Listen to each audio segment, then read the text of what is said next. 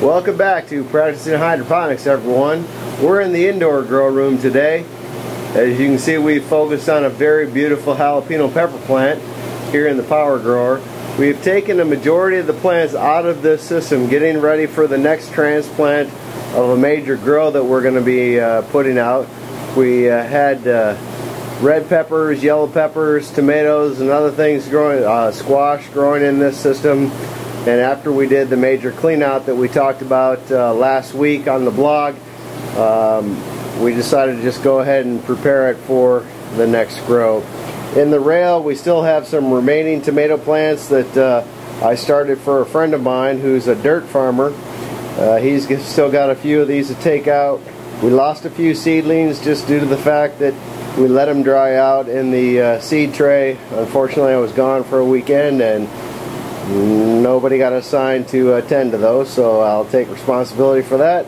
So we started these tomato plants oh about two or three weeks ago and they should be ready in about another week for him to plant outside. On this side we cut back a majority of these plants that were overgrowing uh, some of them to the point where they were crowding out other plants and uh, they were dying just due to lack of light we cut back this parsley plant last weekend and it's grown about a foot and a half since then. So we know that the uh, nutrients and the pH level is, is doing much better now on aroma tomatoes. We're not getting leaf curl anymore. They're not drying up and looking sickly. We've got some very nice white eggplants uh, on this plant growing. We cut this plant back considerably because it was starting to take over the room.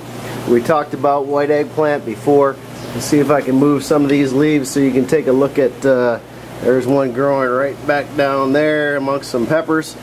So another one down there. We're excited about uh, tasting those and see how they turn out for us. No major changes in this green room uh, other than the, or grow room other than the fact that we did some major system cleanups getting ready for a new grow.